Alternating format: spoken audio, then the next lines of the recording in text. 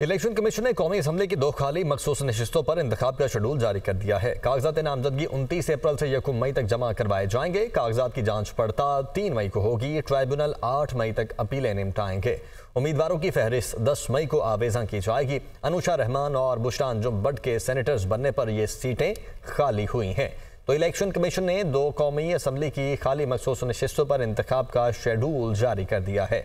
कागजात नामजदगी उनतीस अप्रैल से यकुम मई तक जमा करवाए जाएँगे, जबकि कागजात की जाँच पड़ताल तीन मई को होगी। ट्राइब्यूनल आठ मई तक अपीलें निपटाएँगे और उम्मीदवारों की फहरिस्त दस मई को आवेजा की जाएगी। वकार सैयद इस्लामाबाद से हमारे साथ मौजूद हैं। वकार, क्या डिटेल्स हैं?